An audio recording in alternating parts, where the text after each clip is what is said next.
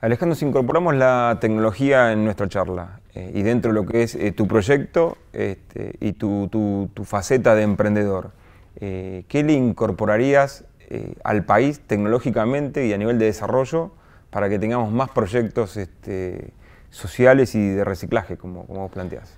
Sí, claramente la tecnología de acá a unos, años va, a reemplazar a, a un montón de puestos de trabajo y el otro día escuchaba a alguien que me pareció que decía algo muy interesante que era ¿qué nos va a diferenciar a nosotros de la, de la tecnología, de los robots? Y bueno, un poco te vuelvo a, decir lo que decía recién, trabajar sobre las habilidades blandas, ¿no? trabajar sobre, sobre las emociones.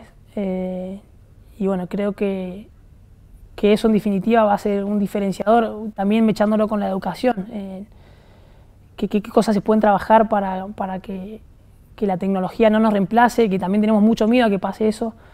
Eh, y que también creo que hay que aprender a que cualquier avance tecnológico también trae algún problema, pero también trae cosas muy buenas, entonces no hay que tener tanto miedo al avance. Eh, las cosas cambian y nosotros también creo que tenemos que, cambiar y ir adaptándonos. Pero bueno, creo que la, tecnología definitivamente está, cambiando un montón de, eh, de, cosas. El otro día escuchaba a alguien que decía, seguramente la medicina y lo de la salud que también va a cambiar, eh, no sé, va, alguien te va a dar un resultado por una máquina, pero si no tenés el médico que, en ese momento te te dé el, resultado y que también entienda tus emociones y que te contenga y, que me parece que habla también de eso, ¿no? de trabajar y que nunca vamos a tener que dejar de lado la, parte humana, más allá de que se avance con la tecnología.